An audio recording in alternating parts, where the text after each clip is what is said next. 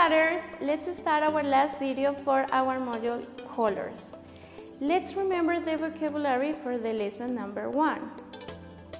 Red, red, yellow, yellow, blue, blue, green, green.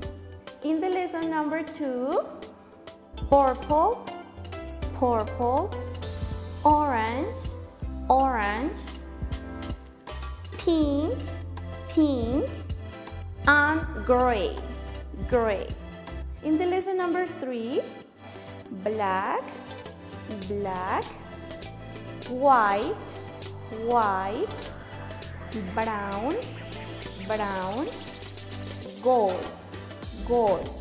Let's practice the grammar. Remember that in the lesson number one, we checked the question, what color is it? What color is it? In the lesson number two, we learned color is it. What color is it? The answer is, it is purple. It is purple. Very good. Another example. What color is it? It is green.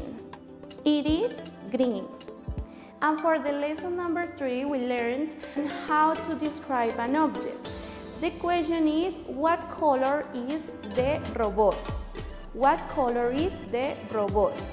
And the answer is, the robot is, example, gray. The robot is gray.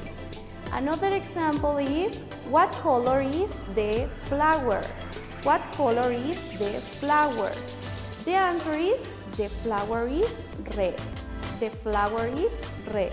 Very good. Let's continue practicing at home. Don't forget to subscribe to our YouTube channel. Bye-bye.